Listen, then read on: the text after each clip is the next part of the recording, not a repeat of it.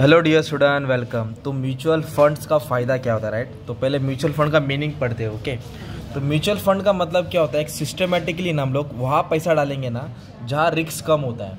क्योंकि शेयर्स में शेयर का प्राइस बढ़ता है, गिरता है तो उधर रिस्क ज़्यादा होता है। तो म्यूचुअल फंड को कौन संभालता है? एसेट मैनेजमेंट कंपनी बहुत बड़े, बोलते हैं ना, दिग्गज लोग होते हैं इंटेलिजेंट पीपल होते हैं, जो स्टॉक के ऊपर नज़र रखते हैं और ऐसे जगह पे फंड डालते हैं ना, जहाँ अगर कोई नेगेटिव भी जा रहा है, वो हट जाएगा और टॉप अपना फंड टॉप कंपनी में इन्वेस्ट रहेगा राइट तो एक, तरफ़ से आप बोल सकते हैं मतलब ना एक मच्छी को कुएँ में डाल रहे हैं। और समुद्र में रहेगा तो क्या मच्छी यहाँ वहाँ फैलेगा पर कुएँ में कहते हैं थोड़ा सेफ़ रहेगा ना। तो ये सेफ़ इन्वेस्टमेंट होता है राइट और इसको मैनेज कौन करता है? एसेट मैनेजमेंट कंपनी तो म्यूचुअल फंड मतलब जो अपना पैसा है ऐसी जगह पर डाल के जहाँ अपने को सेफ्टी मिलती है डाइवर्सिफिकेशन मिलता है तो इससे अपने को फ़ायदा क्या होता है मालूम है क्या? Professional management. मतलब ना, म्यूचुअल फंड को कौन संभालता है? एसेट मैनेजमेंट कंपनी मतलब बहुत सारे एक्सपर्टिस रहते हैं, वो एनालाइज करते और टॉप टेन फंड निकालते, वहाँ पब्लिक का पैसा इन्वेस्ट करते।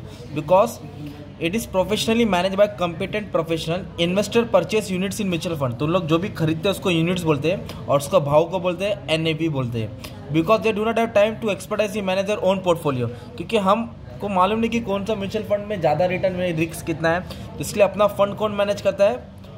Assets management company the investor specially small investor invest in mutual fund to maxim return on their investment मतलब कैसे उधर गारंटी 12 से 13 परसेंट रिटर्न एनुअली तुमको मिल सकता है। तो यह फंड कौन मैनेज करता है? प्रोफेशनल लोग, जिसमें रिस्क कम होता है। और म्यूचुअल फंड में कैसे है ना कंपनी है ना, जो फंड होता है फंड मैनेजर एक ही जगह पे पैसा नहीं डालता है, क्योंकि एक ही जगह पे डालेगा टाइटेनिक में सब लोग रहेंगे तो टाइटेनिक डूब गए तो सब मर जाएँगे ना। तो पैसा को डाइवर्सिफाई किया जाता है। अलग अलग कंपनी अलग अलग सेक्टर अलग अलग जगह पे डालते हैं। अगर एक सेक्टर भी डाउन हो जाए तो दूसरा सेक्टर ऊपर बढ़ रहा है। तो इसलिए अपना फंड डाइवर्सिफाई हो जाता है तो रिस्क कम हो जाता है तो रिटर्न बढ़ने का ज़्यादा चांस होता है। Mutual fund invest in diversify portfolio diversify मतलब अलग अलग share, debenture, government securities. The idea behind diversify is to invest in a large number of financial asset. अलग अलग कंपनी के अलग अलग सिक्योरिटी में इन्वेस्ट किया जाता है इसलिए investment in mutual fund help the investor to spread out and minimize risk जब सब चीज़ फैल जाता है तो रिस्क क्या हो जाता है कम हो जाता है तो ये फ़ायदा है डाइवर्सिफाई मतलब एक जगह नहीं अलग अलग जगह और इकोनॉमिक ऑफ़ स्केल का मतलब होता है कि इधर सिक्योरिटीज बहुत ज़्यादा लेवल पे खरीदा जाता है बल्क में तो जब बल्क में लेन देन होता है ना तो क्या फ़ायदा होता है mutual fund buy and large and sell large amount of securities at a time एक टाइम पे ज़्यादा खरीदते हैं, ज़्यादा बेचते हैं. Therefore transaction cost are reduce तो थोड़ा झूठ बोला है लोग ने. ट्रांजेक्शन कॉस्ट थोड़ा हद तक कम होता है, पर एक्सपेंस रेशियो देना ही पड़ता है. तो ब्रोकरेज थोड़ा कम लगता है. अगर ज़्यादा खरीदेगा तो ब्रोकरेज कम है, पर तुम लोग एक ही यूनिट खरीदेंगे तो ज़्यादा खर्च होगा मतलब एक रिक्शे में एक जन बैठो या तीन जन बैठो, भाड़ा उतना ही जाएगा ना. इसलिए ज़्यादा खर्चा करने से थोड़ा ब्रोकरेज कम लगता है ओके और म्यूचुअल फंड कैसा है लिक्विडिटी मार्केट है मतलब कैश मार्केट क्या है? जैसे बेचेगा तुरंत पैसा आ जाएगा। तो आप लोग खरीदे हो बेचो जिस दिन बेचेगा उसी दिन पैसा आ जाता है और कल तुम लोग विड्रॉ कर सकते हो। लिक्विडिटी मतलब कैश होता है। और एक तरफ़ से हम लोग को आदत हो जाता है ना पैसा म्यूचुअल फंड सिक्योरिटीज में इन्वेस्ट करके म्यूचुअल फंड में हम लोग एक सेविंग की आदत डाल देते तो सेविंग से क्या होता है? थोड़ा थोड़ा रिटर्न्स मिलता है और थोड़ा थोड़ा बाद में प्रॉफिट का भी अपने को मज़ा चखना मिलता है। तो profitable investment return high return इसके लिए पब्लिक बहुत सारे लोग क्या करते हैं? इन्वेस्ट करते हैं। सचिन का ऐड आता है ना धोनी का पाँच सौ रुपये से शुरुआत करो म्यूचुअल फंड उसको एस आई पी बोलते हैं। क्या बोलते हैं? सिस्टमेटिक इन्वेस्टमेंट प्लान तो पब्लिक सेविंग करने के लिए म्यूचुअल फंड में पैसा डालती है। कन्वीनियंस फ्लेक्सिबिलिटी मतलब इन्वेस्टर आराम, सुकून. मतलब investor can easily invest in mutual fund they are least formalities to invest in mutual fund एक डिमांड अकाउंट खोलना है, तुमको जो फंड के ऊपर नॉलेज है, जो प्रॉपर गाइडेंस मिला फाइनेंशियली तुम लोग वो फंड में पैसा क्या कर सकते हैं? इन्वेस्ट कर सकते हैं. If I investor is not satisfied with one mutual fund तुम लोग स्विच कर सकते हो उसको बेच के दूसरा म्यूचुअल फंड में इन्वेस्ट कर देंगे. और इसमें टैक्स बेनिफिट भी रहता है. अगर आप लोग ऐसी जगह पे इन्वेस्टमेंट करेंगे जहाँ गवर्नमेंट ने टैक्स माफ़ किया है तो आपको टैक्स देने की ज़रूरत नहीं पड़ेगी। The investor do not pay do not have to pay dividend tax जो डिविडेंड आता है, उस पर टैक्स नहीं देना पड़ता है। टैक्स माफ़। बेनिफिट मतलब एग्जाम्ट है। टैक्स की छूट।